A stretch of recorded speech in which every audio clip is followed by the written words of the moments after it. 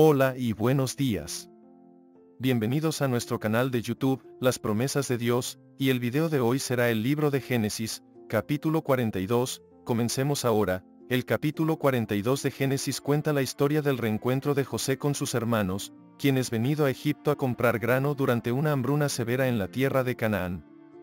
Este capítulo contiene temas importantes como el perdón, el arrepentimiento y la reconciliación, que tienen relevancia para nuestras vidas hoy. En este ensayo, exploraremos los detalles de este capítulo y sus lecciones para nuestra vida.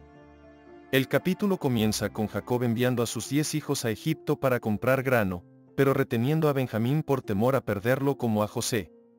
Cuando los hermanos llegan a Egipto, son llevados ante José, quien los reconoce. Pero ellos no lo reconocen. José pone a prueba a sus hermanos acusándolos de ser espías, y exige que lleven a Benjamín a Egipto para demostrar su inocencia. También encarcela a Simeón como garantía de su regreso. Los hermanos regresan a Canaán con el grano. Pero están preocupados por las demandas de José. Le cuentan a Jacob lo que ha sucedido, y él se niega a dejar ir a Benjamín con ellos, por temor a perderlo también. Sin embargo, cuando se acaba el grano, Jacob no tiene más remedio que enviar a sus hijos de regreso a Egipto con Benjamín.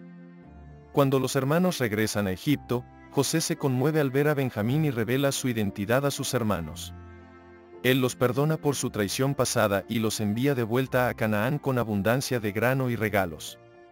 José también les instruye que traigan a su padre y al resto de su familia a vivir a Egipto, donde serán provistos durante la hambruna. Una lección importante que podemos aprender de este capítulo es la importancia del perdón. José perdonó a sus hermanos por venderlo como esclavo y no buscó venganza contra ellos. En cambio, los trató con amabilidad y generosidad. Este es un poderoso recordatorio de que el perdón puede conducir a la reconciliación y la sanación. Otra lección importante de este capítulo es la importancia del arrepentimiento. Cuando los hermanos de José llegaron a Egipto, no lo reconocieron, pero él los reconoció a ellos.